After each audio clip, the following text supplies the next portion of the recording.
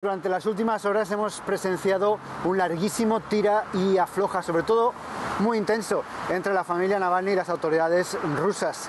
Eh, ayer se dirigieron a la familia Navalny desde el comité de investigación y dieron un ultimátum a su madre, Lyudmila Navalny, y le dijeron que o aceptaba celebrar un funeral no público, prácticamente en secreto, o si no, ellos enterrarían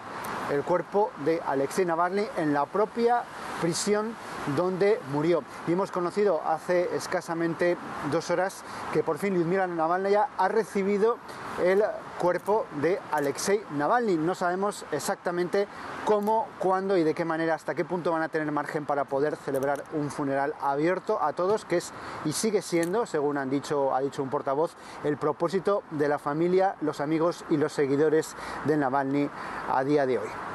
Xavier, pues eh, veremos eh, cómo avanza, si finalmente hay este funeral abierto, como, como decías, que pide la familia. Pero, por otro lado, ha circulado en la prensa occidental una información originalmente publicada en el medio británico The Times sobre una posible causa de la muerte de Alexei Navalny sería después de haber pasado horas expuesto a temperaturas eh, muy bajo cero, a temperaturas muy frías. Habría recibido unos golpes muy contundentes en el pecho, ¿no? Eh, ¿Qué hay de estas versiones en Rusia?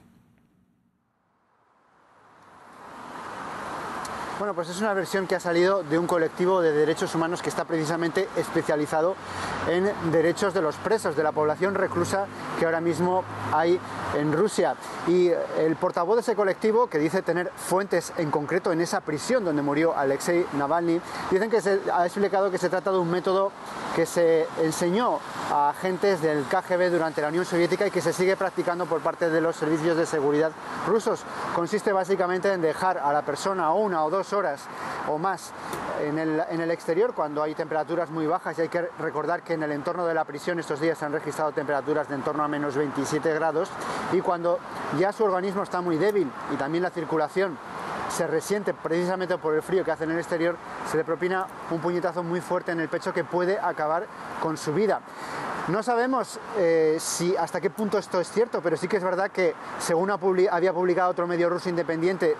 días antes, un técnico de las ambulancias dijo que el cadáver de Navalny tenía hematomas, que eran hematomas por convulsiones, pero sí que mencionó uno muy grande precisamente en la zona del pecho.